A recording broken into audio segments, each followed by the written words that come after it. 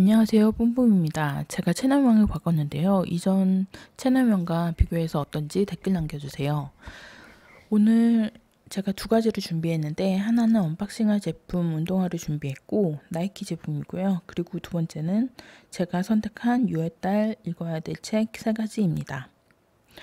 저는 흥미 위주로 책을 선택하는 경향이 없지 않아 있어서 저의 흥미 위주로 선택한 책을 구경하시려면 영상 끝까지 봐주세요.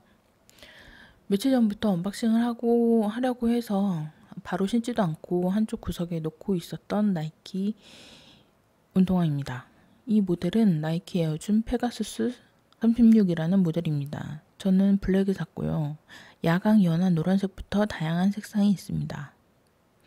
나이키 신발은 오랜만에 사서 신어보니 평소에 제가 신던 아디다스 사이즈보다 음, 러니어는 한 치수 큰 걸 사야 된다고 해서 저는 두 치수 큰 걸 샀습니다. 제가 좀 발볼이 넓은 사이즈라서 말입니다. 기존에 샀던 반스 운동화보다 다른 매력이 있고 발도 되게 편했어요. 니트 소재로 되어 있어 발에 딱 맞게 신어야 한다고 해, 하셨습니다. 그러나 저는 예외고요. 그리고 소개해드릴 것은 그 다음으로 소개해드릴 것은 6월달 제가 선택한 책들입니다. 첫 번째는 90년생이 온다라는 책이고 저자는 임홍택 님입니다. 이 책을 저가, 제가 선택한 이유는 요즘 시대와 트렌드를 알려면 요즘 시대를 살아가는 바로 다음 세대에 이어 이 세대를 소비하고 그 소비의 중심이고 문화의 중심이 되어가는 90년생들을 알아야 됨을 깨달았기 때문입니다. 그리고 함께 일을 하게 될 90년생들의 대해서 좀 더 이해하고 싶은 마음이 많이 있었습니다. 그래서 90년생들이 온다라는 90년생이 온다라는 책을 선택하였습니다.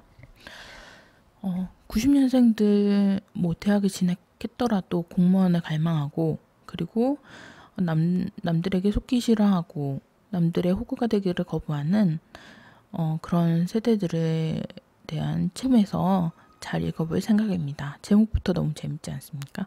그리고 두 번째 책은 어떻게 팔지 답답할 때 읽는 마케팅 책입니다. 저자는 리처드 쇼튼입니다.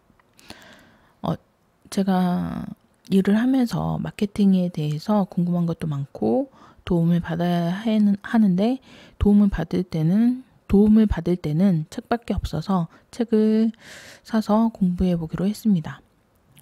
저와 맞길래야 뗄수 없는 관계라고 생각을 하고 제가 일을 하는데 도움이 될 수 있도록 마케팅 책을 샀는데 어떻게 팔지 답답할 때 있는 책 마케팅 책은 음, 똑같은 걸 팔아도 10배 매출을 만드는 마케팅 고수들은 과연 무엇이 다를까 궁금해서 사게 된 책입니다. 그리고 마케팅을 돈으로 한다는 생각을 버리라는 저자의 말이 마음에 와 닿았습니다. 그리고 세 번째 책은 50대 사건으로 보는 돈의 역사입니다. 요새 베스트셀러이기도 한 이 책은 저자 홍춘호 님이 쓴 책으로 역사에서 교훈을 얻으려면 그 이면에 있는 돈을 알아야 한다는 또 역사의 곧 역사의 중심엔 항상 돈이 있다는 저자의 글이 이 책을 집계하고 끌리게 했습니다. 오늘 영상은 여기까지고요. 저의 다음 영상도 기대해 주세요. 구독과 좋아요 꼭 눌러 주시고요. 감사합니다. 바이.